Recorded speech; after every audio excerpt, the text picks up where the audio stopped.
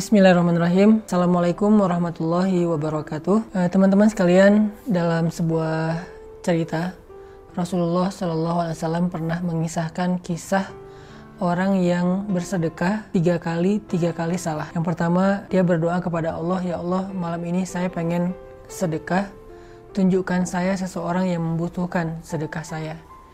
Lalu dia keluar dari rumahnya, pas dia udah keluar dari rumahnya, dia menemukan seorang laki-laki dia katakan ini adalah sedekah untukmu. Dia kasih uh, uangnya, hartanya sedekah untuk laki-laki tersebut. Besok pagi tiba-tiba orang-orang di kampung itu gempar mengatakan bahwa semalam ada seorang pencuri dapat sedekah. Sehingga laki-laki yang bersedekah ini ngerasa dia salah udah bersedekah kepada pencuri. Dia sedih seharian, malam kedua dia berdoa lagi kepada Allah, "Ya Allah, tunjukkan saya seseorang yang berhak menerima sedekah. Saya akan berikan harta saya kepada dia." Semoga menjadi manfaat. Keluar dari rumah, dia melihat seorang perempuan, lalu dia berikan sedekah dan perempuan ini menerima. Besok pagi orang-orang pada heboh dan mengatakan semalam seorang pezina, seorang pelacur mendapatkan sedekah. Dia merasa menyesal lagi dan merasa sedekahnya sia-sia, salah. Akhirnya malam ketiga dia berdoa lagi, Ya Allah, kali ini beri saya petunjuk. Saya ingin bersedekah kepada orang yang berhak menerima sedekah. Dia keluar dari rumahnya, dia melihat seorang laki-laki lewat, dia berikan sedekah. Laki-laki itu diam saja sambil mengambil apa yang diberikan.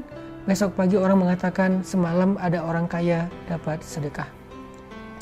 Tiga kali dia bersedekah, tiga kali dia merasa gagal, tiga kali dia merasa salah. Kenapa yang pertama dia sedekah kepada pencuri, kedua dia sedekah kepada pezina, ketiga dia sedekah kepada orang kaya. Sehingga akhirnya dia merasa sepertinya Allah tidak mengabulkan keinginannya Malam keempat, dia tidur dan dia bermimpi. Dalam mimpinya, Allah mengutus kepada laki-laki ini seorang malaikat untuk memberitahu kepada dia tentang sedekahnya. Malaikat ini mengatakan, "Ya fulan, sedekahmu yang pertama Allah terima. Karena ketika kamu bersedekah kepada pencuri, itu telah menghalangi dia dari mencuri karena dia tidak butuh lagi mencuri untuk mendapatkan harta.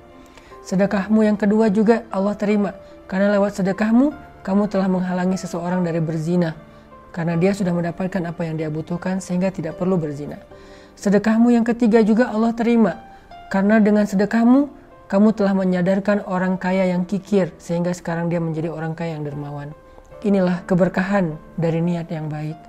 Ini adalah penjelasan dari hadis innamal a'malu bin niat bahwa amal itu tergantung kepada niat.